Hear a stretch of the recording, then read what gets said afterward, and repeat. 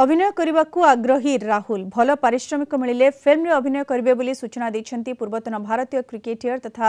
team ଇଣ୍ଡିଆର ମୁଖ୍ୟ coach Rahul Dravid ତାଙ୍କ ଉପରେ ବାୟୋପିକ୍ ନିର୍ମାଣ ହେଲେ ଏଥିରେ ଅଭିନୟ କରିବେ କି ନାହିଁ ପ୍ରଶ୍ନରେ ଏଭଳି ଉତ୍ତର ଦେଇଛନ୍ତି ରାହୁଲ